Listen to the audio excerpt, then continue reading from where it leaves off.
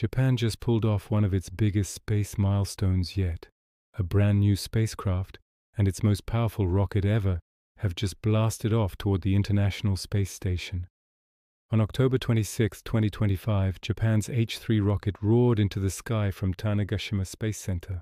Four boosters, a massive new fairing, and a mission unlike any before, delivering the new HTVX cargo spacecraft to orbit. Fourteen minutes later, JAXA confirmed success. The spacecraft had reached its target orbit perfectly. HTVX will now spend a few days chasing the ISS before astronaut Kimiya Yui captures it with the Station S robotic arm. It's carrying critical supplies, food, equipment, and lab samples that must stay cold thanks to HTVX's new power systems. Unlike earlier versions, this ship can stay docked for up to six months, then fly independently for another three months to test new technologies.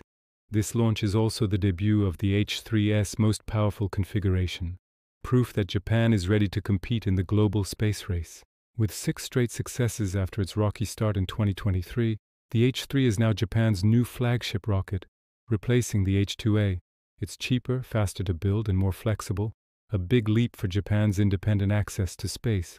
From a small island in southern Japan to the edge of space, JAXA's message is clear. Japan is ready to stand shoulder to shoulder with NASA and SpaceX in the next era of exploration.